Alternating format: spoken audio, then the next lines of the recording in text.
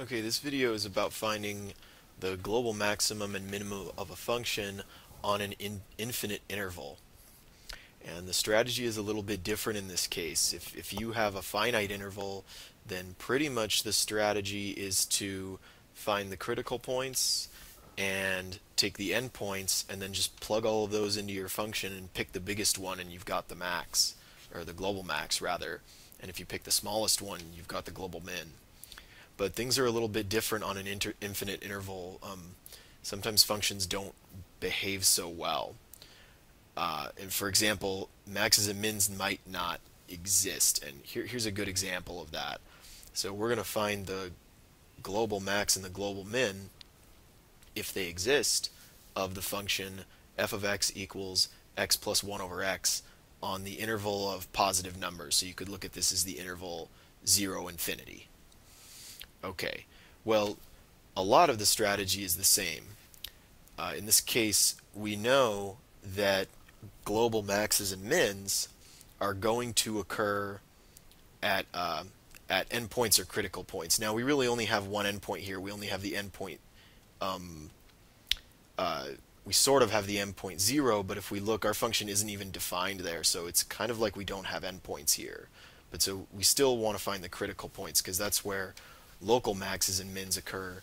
So that's where we might get a global max and a min. So we can look at this function. If I re-express this, um, it's the same as x plus x to the minus 1. And I did that so we can differentiate it with the power rule. So we find that f prime of x, the derivative of x is 1, and the derivative of x to the minus 1 is minus x to the minus 2. Or equivalently, I could call this 1 minus 1 over x squared. Okay, and if I want to find the critical points, I set this equal to 0, and I solve this equation. Now, how do I solve this equation? Well, I hate negative signs, so I'm going to move the 1 over x squared to the other side.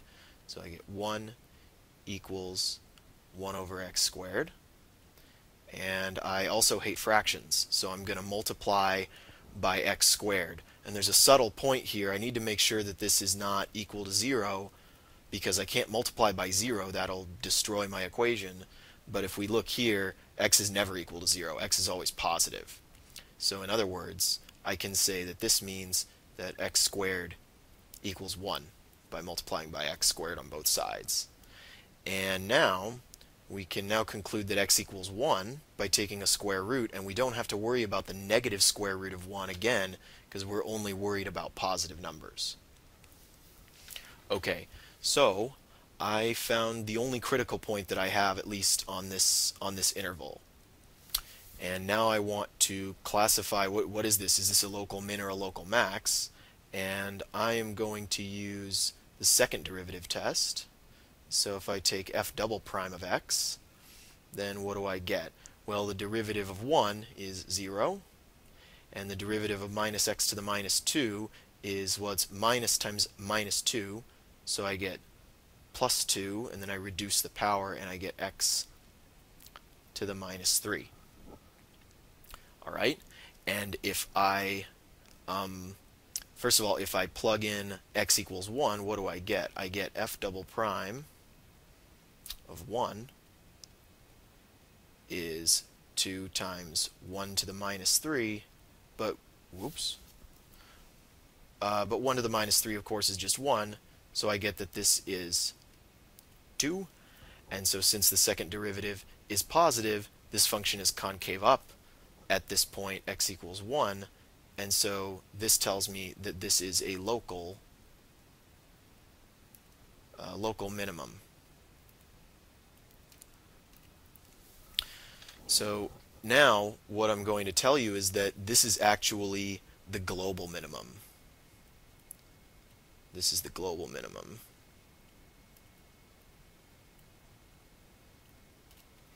And the reason that this is the global minimum is that this function never has it, it, it never has a chance to get lower than this because not only is this function concave up at x equals 1, it's actually concave up everywhere because f double prime of x is what? Well, we can look at this as it being 2 over x cubed. And since again we're only looking at positive numbers, this is always going to be positive because if x is positive, x cubed is positive, and so 2 over positive is always positive. So this is concave up everywhere, so it has a shape like this everywhere, and this is my only critical point here at x equals 1. This would be at x equals 1. So this is, turns out to be my global minimum. Now, what is my maximum? And this is sort of the tough part. You have to realize that in this case there is no maximum. And the reason that there is no maximum is that we're considering this for all the positive numbers, no matter how large they get. And if we notice what, what happens to this function as x becomes large, well, as x becomes large, 1 over x becomes very small. In fact, it kind of basically looks like 0 if x is really large. Right? But x gets big.